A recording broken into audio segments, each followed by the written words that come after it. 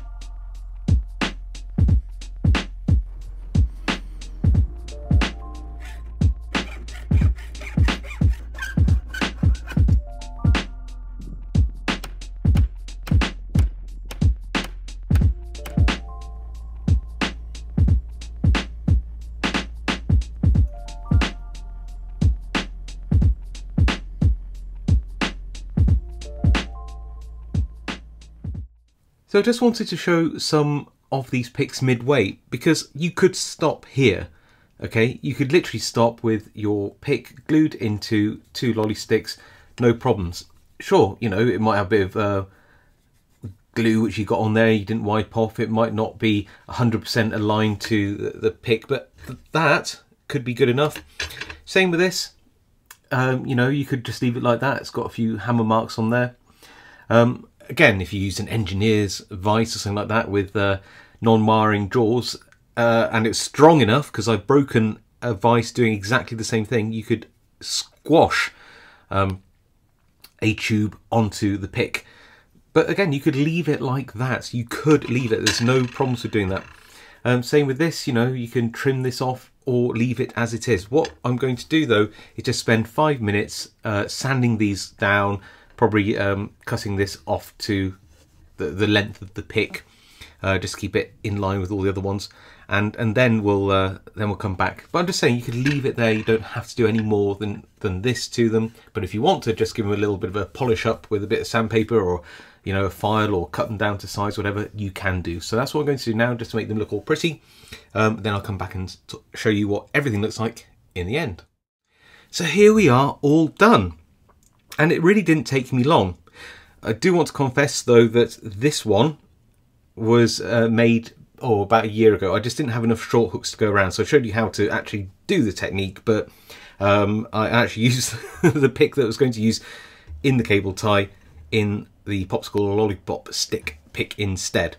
Um, and of course, this was from the old footage you saw me splice in. Anyway, enough about that. Let's actually look at each one. This is the popsicle sticks. Um, sanded them down. I shortened this off by about, I would say, two and a half centimeters, about an inch. Um, so it's a bit more comfortable, a bit easier to fit inside a case. Bit of teak oils and beeswax on it, and I think that looks great. Is it as good as, you know, a custom hardwood scale? No, no, it's not. But bear in mind that these lolly sticks or popsicle sticks can cost you uh, as little as about a penny each, or maybe even free if you just, you know, have recycled ones. And I'll tell you what, they are strong. They're strong things. They, they don't flex. They're not too thick. They are brilliant. And like I said earlier, you don't have to do any more sanding. You can just use a bit more glue um, and, and use it as is if you don't really care about the looks. If you do care about the looks, a tiny, tiny amount of effort to sand these back can make it look like this and I think that that is actually pretty nice and it will actually get used none of these none of these picks will get thrown away um, I actually use all of these picks and I think the wooden one is very good it's probably probably the cheapest out of all of these. It's cheap, it looks nice, and it's strong, and it doesn't flex. The next one to look at is the cable ties. Arguably the third uh, cheapest. I think the second cheapest is probably the uh, shrink tube. Um, this one, I didn't use a clear epoxy. I actually used some JB Weld when I did this one. Uh, it's still an epoxy resin, it's just got some extra metal filings in it. But again, once you've got the pick inside there, it's got a small amount of flex, but not much. And in terms of thickness, it's really thin. Quite honestly, thick cable ties like this is one of my favorite um, handles. It just is so, so good. Especially for really thin picks. I think this one's a 15 thousandth. Um, it's just really, really strong and it's really easy to use. It's very easy to cut, shape, glue. I can't think of any uh, downsides to it other than the fact it's a little bit more expensive than the wood. Um, but the thickness you get there is just lovely, really good. Definitely would recommend you do that.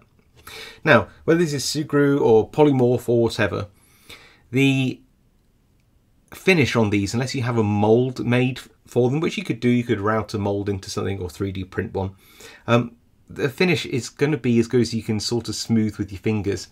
Uh, the advantage is, of course, you could actually shape it to your own individual grip. So if you have mobility issues in your hand, for example, an injury or whatever, then uh, a polymorph or Sugru grip can actually be very comfortable. You can make it as comfortable as you want. Uh, however, it is still quite flexy. Not a big deal, it's I know. Does that look nice? I don't think it looks very nice. If if it looking nice isn't a bother, then it's quite good. Polymorph is so much cheaper than Sugru. Sugru is super expensive, so um, I don't know. Uh, I, I thought I'd show you that handle, but it's not one I'd ever really repeat, just because I think some aesthetics, for me, it, it just works. So it is comfortable, sure. Um, the Sugru is expensive. Polymorph's a bit cheaper, but I still don't like the look of it. Sorry for those who do. Okay. Now this is one that I use all the time. I think uh, most of us do really. Uh, just a bit of shrink tube. I would recommend the marine grade one with the glue inside. Um, why do we use this? Because it's really cheap and it's by far the quickest way to stick a handle on. Yes, it can be a bit flexible. You can put some extra um, wiper blade inserts in here to, to make it a little stronger. But frankly, it's quick, it's easy, and when I'm, I'm not feeling up to making some handles out of the nylon cable ties, it's just so good. It's comfortable, it works, it's quick. It quite honestly doesn't even look too bad, especially if you sort of, you know, round off the ends. I mean, let's face it, it's very hard to say why you do any of the other hacks um, if flexibility wasn't an issue for you because it is cheap, it is easy, it is quick, and it does look quite nice. You could also, um, I think, get different colours of the cable ties, but you certainly get loads of colours of this, and you can colour code your picks to the different thicknesses and uh, styles, and you know, colour code your rakes and whatever you want. It's so versatile. Okay, next one is, I think it's a really nice finish actually on this. This is uh, Plasti Dip. Um, and it's really nice. It feels very nice. It's it's nice on the hands. It looks good. But plastic Dip, I mean, it, the the stuff itself is relatively expensive, especially in the UK. But I, I guess if you're dipping picks in it, it will last you for possibly years. The only downside is that whilst it's very quick to apply, you've got to wait half an hour between coats, four hours before you use it. Um, it's hard to get sort of an even finish. It's a bit messy and really over over this Man, you know is that is it uh, it's nice don't get me wrong but is it so much nicer that you wouldn't use a bit of shrink tube for me no no i think yeah it's a tiny bit neater maybe but that's about it um so yeah it looks good it's very quick sort of to apply, but then you can't use it for hours afterwards. You can apply this and use it straight away. Um, and it is still obviously flexible because it's it's just like um, a rubber. And finally, let's have a look at this. Now, I left a sort of a brushed finish on here because I could. I didn't want to put polish on here. Um, what I didn't mention earlier is the fact that you don't have to have it sort of sandwiched on the pick like that. You can have it extended out if you want a longer handle. The only disadvantage is that these are quite heavy. Um, again, it's hard to recommend doing it this way because the uh, brass that you'd be using, uh, it's it's expensive. It's hard to, to work unless you have a very strong engineer's vice uh, and, and you can squash the tubing. It does look quite nice uh, and it's kind of quite smart in that regard, but Again, I just want to show you a technique that gives you a quick and easy handle, but it is, I guess, a bit expensive and it can look a bit rubbishy if you don't have a sander to sand it back. Um, so again, it's a uh, you know it gives a heavy handle, but it is so so strong. This is so strong. It's got barely any flex. It does look quite nice once you finish it. It is quite comfortable, but I don't know. I, I don't do that on many picks. I've probably done it on about three since I've been lock picking. Now, if I had to choose my order of things I would do, um, it's probably in this order. So in terms of my personal preferences, and that's weighing up all the pros and all the cons of all the techniques, speed, ease, cost, all those other things, for me personally, I just can't beat shrink tube. Um, the only disadvantage is it's a little bit flexible, but it's comfortable and it's great and it works and it's cheap and you get all the different colours. Again, you get all the different colours of these cable ties. They are reasonably good value, but they, you know, they're not as cheap as shrink tube, not at all. but they do give a very thin, very strong handle, and that's hard to beat. And it also looks really, really nice, almost like a professional handle or 3D printed handle. Um, very little work to get a huge, huge benefit. The wood, um, the popsicle sticks or the coffee stirrers, I mean, it's so cheap and so strong and so easy to do, especially if you've got um, a power sander. Uh, but for me, just aesthetically uh, and mechanically, honestly, the cable ties just edge it. You may disagree, um, but, but for me it does. And again, you can use the wider popsicle sticks if you want. You can even use a router to route a groove and then have the wood on wood effect, which is quite nice. Plasti uh, dip again. It's it's it's perfectly good actually. I can see me using it in other applications, but for lockpicks, honestly, the same sort of feel and style I can get super quick with um, shrink tube and of course the Sugru um the oh miss one out. The brass it looks fine. Um you but if you're going to put brass handles on you probably want to do it properly with uh, brass scales and and do a custom pick rather than just smash some tubing around a, a pick with a bit of glue on it. Again it's a lot quicker. It's a bit of a hack. Um, it can look quite nice. You can make it as long as you want. But yeah not so much for me. And again with the or polymorph um, just don't like the look of it and it doesn't give you a massive advantage over some um, decent shrink tubing. Although, as I said earlier, of course, if you have mobility issues in your hand, um, you want something that's ergonomically more comfortable, then that could be an option. So, which one is your favourite? I'd really like to know. Also, do you have a quick, cheap, easy handle um, that you can put on a, a, a pick that I haven't shown you here? Is, is there a technique or something where you go, ah, what I do is, you know, tell us what, what's your way of doing a very quick um, and easy and cheap handle for your lockpicks? I'd really like to know. And of course, people do read the comments and they would like to know too. So do let me know in the comments. or read them all. or reply to me as I can. If you like this video, leave a like. If you haven't subscribed and like content like this, want to see more like it, please, please, please subscribe. It really helps me out. All right. Hope you enjoyed that and I'll see you all next time.